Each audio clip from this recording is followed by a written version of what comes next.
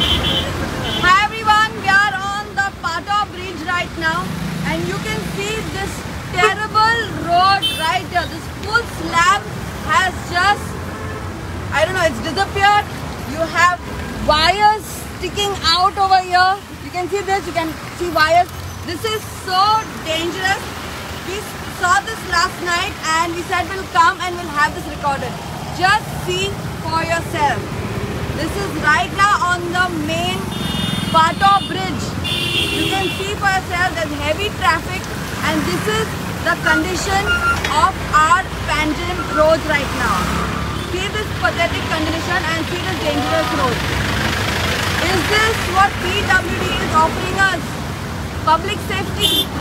Is this what we voted for? You can see the poor conditions of the road right now. See the traffic. My friend Francis is managing the road over here and we are here highlighting it. See for yourself. See this bad road. See this.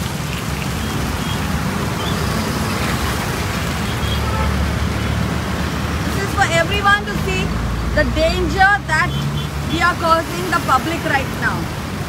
Just see for yourself.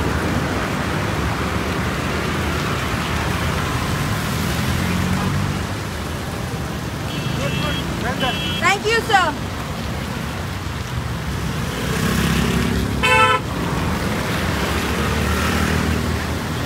We are handling the traffic over here. We are handling the traffic over here just to show you all what our government is offering the citizens. See the traffic that is entering into Panjim. And see this road guys, see this. See the wire sticking out. If I'm faking this, then you can say whatever you want. But this is live right now. This is live. This is today's scenario. For yourself.